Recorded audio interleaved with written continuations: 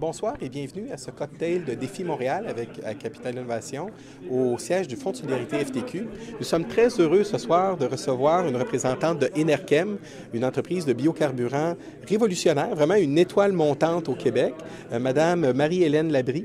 Alors, euh, Madame Labrie, c'est un plaisir de vous recevoir. Bien, ça me fait plaisir d'être ici. Oui. Et euh, Enerchem, on en parle beaucoup. Euh, c'est vraiment dans le milieu de l'investissement, vous êtes très connu. Euh, je pense que dans le secteur des technologies vertes émergentes, dans les technologies propres, dans le domaine énergétique, euh, vous êtes une des entreprises, je pense, qui a été très, très remarquée et qui se développe de façon importante. Oui, en fait, Enerchem a été euh, fondée en 2000. Donc, et aujourd'hui, c'est une entreprise qui, exploite deux usines au Québec qui ont permis de tester, valider la technologie. Et là, vraiment, on est dans la phase de commercialisation où là, on entreprend des projets commerciaux à grande échelle. On a une usine en construction actuellement à Edmonton, euh, en Alberta. On a deux autres projets qu'on développe. Euh, une usine ici euh, à Varennes et puis une autre aux États-Unis, au Mississippi. Euh, quand on parle de la technologie d'Enerchem, euh, vous avez des usines, vous êtes dans l'énergie propre. Euh, quel est le processus? Comment ça fonctionne? D'accord. Ben, c'est une technologie verte. En fait, c'est un procédé de chimie verte.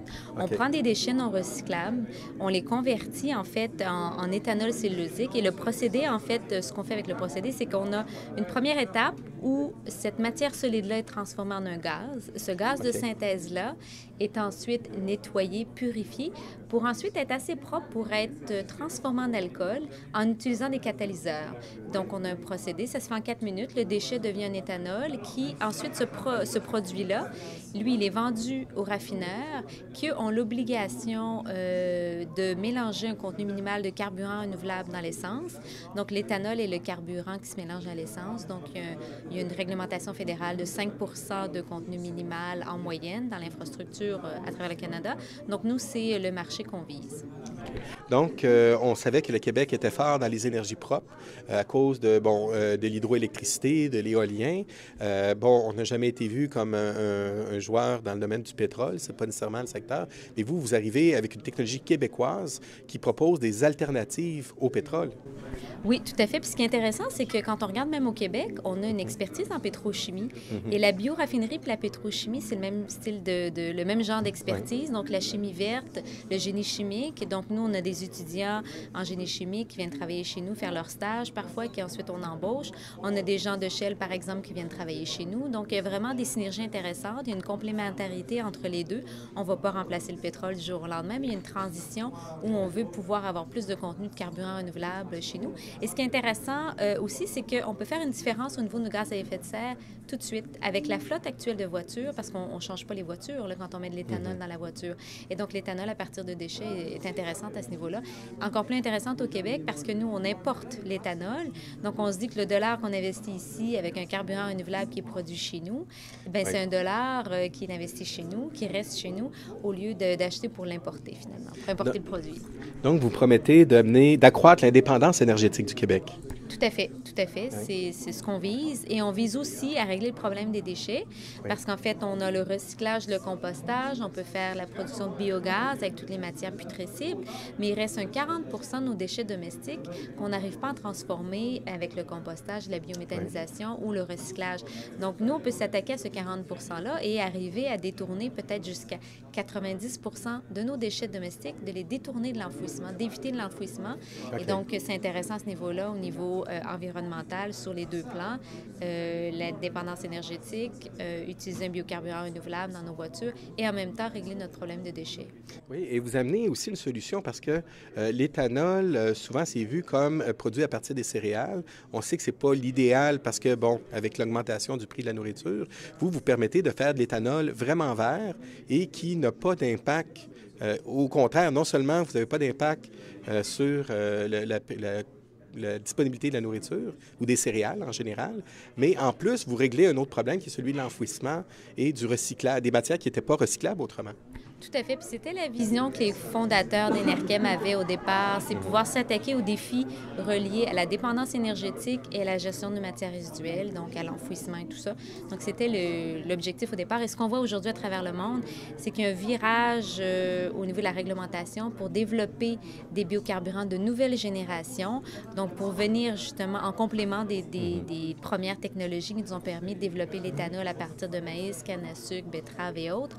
Et donc là, on regarde les nouvelles technologies qui nous permettent de, de diversifier euh, les sources à partir desquelles on produit les biocarburants pour être moins dépendants d'une matière en particulier. Euh, je comprends que c'est une technologie propriétaire, donc c'est vraiment un brevet et c'est une technologie vraiment euh, faite au Québec. Tout à fait, tout à fait. Plusieurs brevets. Euh, on a nos ingénieurs, nos chercheurs, toute une équipe incroyable de gens. Il y a 130 employés au Québec qui travaillent chez Enerchem. on est répartis en trois centres, Montréal, Sherbrooke, qui est vraiment le cœur d'Enerchem, et Westbury, qui est aussi en Estrie. OK. Donc, vous parliez tout à l'heure, vous, faites, vous avez un vecteur de création d'emplois assez important et vous amenez des emplois dans un secteur là, qui était autrement moribond. Vous parliez que vous embauchez des gens parce que sinon le secteur de la pétrochimie était en déclin. Et vous, vous amenez vraiment le virage euh, dans les technologies propres et qui permet de renouveler ce domaine-là au Québec.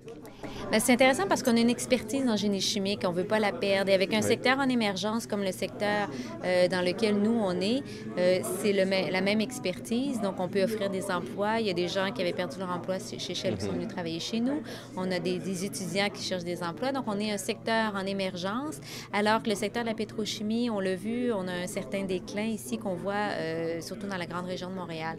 Donc, c'est intéressant à ce niveau-là. Et Enerkem a connu une croissance fulgurante. On est passé de 25 employés à 130 euh, depuis 2008. Donc ça, c'est une croissance de 400% Et même nos projets qu'on développe à l'extérieur, comme en, Alberta, au Mississippi, ce que je disais tout à l'heure, c'est que ces projets-là sont développés ici. On a les gens en gestion de projet, nos ingénieurs, la technologie, tout ça, c'est fait ici au Québec. C'est bon. Alors, euh, bon, euh, je pense qu'on est plusieurs à avoir hâte d'avoir de l'éthanol québécois de Enerchem là, pour, euh, à, la station d'essence. Pour l'avenir d'Enerchem, parce que je sais que ça se développe de façon importante, les prochaines étapes, quels sont les prochains éléments de développement chez vous? Bon, là, actuellement, on est vraiment dans une phase où on, développe nos projets d'usines commerciales, donc à pleine échelle. Chaque usine va produire 38 millions d'éthanol par année. Mhm. Et donc, chacune de ces usines-là va permettre de réduire nos émissions de gaz à effet de serre et ça va permettre de faire rouler finalement 400 000 voitures avec un mélange de 5 d'éthanol, 95% d'essence. donc, on a ce projet-là en construction actuellement à Edmonton, en Alberta, où on prend les déchets non recyclables et non compostables de la ville d'Edmonton où on va produire 38 millions de litres d'éthanol. Donc, on va commencer euh, les opérations l'année prochaine et la construction de, l'usine va se terminer l'année prochaine. Ensuite, on a deux projets euh, en développement. Un actuellement qui serait situé sur la rive sud de Montréal, à Varennes. Oui. Donc, en co-entreprise avec Ethanol Greenfield, qui est un producteur d'éthanol maïs. Donc, on, est installé, euh, on va s'installer sur leur site et il y a des synergies intéressantes parce qu'on a le même client à la fin. les raffineurs donc achètent l'éthanol. Et on a un projet qu'on développe au Mississippi euh, qui est pareil. En fait, ces trois projets d'usine-là sont basés sur notre modèle standard d'usine. Et donc, euh, on a eu un soutien gouvernemental aussi du gouvernement fédéral américain euh, pour ce projet-là. Donc, c'est surtout ce sur quoi on se concentre actuellement, nos trois projets d'usine commerciale à pleine échelle. vous avez une présence internationale. Je comprends qu'il y a un besoin énorme au, au niveau de l'énergie en ce moment. c'est une demande très, très, très forte. Euh, donc, vous avez déjà attiré des partenaires étrangers. Vous êtes aussi un catalyseur d'investissement étranger vers le Québec. Oui, tout à fait, parce qu'à partir de 2006, on est allé chercher des investisseurs étrangers euh, new-yorkais, euh, donc euh, dans notre ronde de financement en 2006. Et dans les deux dernières années, on est aussi allé chercher des investisseurs industriels. On a Waste Management qui s'est joint comme actionnaire dans l'entreprise, donc Waste Management de Houston. Et on a Valero aussi, qui est la maison mère d'Ultramar, qui s'est joint aussi comme actionnaire industriel. Donc, tout à fait, il y, a, il y, a, des investisseurs canadiens. On est allé chercher aussi des investisseurs américains. OK. Donc, euh, vraiment, bravo. On est euh, très fiers de vos développements et de ces performances. Euh, vraiment, c'est un secteur aussi qui est émergent, mais qui n'est pas nécessairement facile. Au niveau des technologies propres, on sait que c'est extrêmement prometteur au Québec. On souhaite vraiment que d'autres entrepreneurs suivent euh, les voies d'Enerchem et puissent réussir de cette façon. En tout cas, ça prend toujours un pionnier à un moment donné pour faire les premiers développements. Alors, on est très fiers de vos développements. On espère que, et vous, je crois que c'est vraiment une entreprise qui gagne à être connue. Alors, on va définitivement suivre vos prochains exploits. Merci beaucoup. Et tout ça, le succès, c'est en fait nos partenaires, nos investisseurs, les gouvernements et le travail acharné des employés d'Enerchem. C'est une équipe formidable. D'accord. Bravo et merci. Merci, ça m'a fait plaisir.